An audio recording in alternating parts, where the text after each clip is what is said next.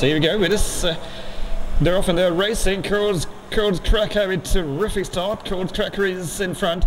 Saman Cyber in the second position. And then it's Arrogate as the third. Jalpana Prince is at the fourth. Then is Shiny Moon. And then is Malik Badsha right at the bottom. So race leader is Codes Cracker. Codes Cracker is being followed by Saman Sahib.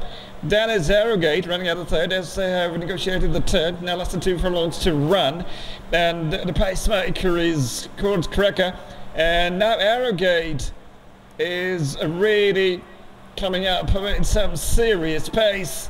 Has jumped up to the second position at Arrogate. Still it is Codes Cracker. Codes Cracker is leading. Dennis Arrogate just two and a half lengths. Uh, two lengths also behind. Now just two and a half lengths. Will be close finish, but not close enough. Codes Cracker has made it. And this performance is just fantastic.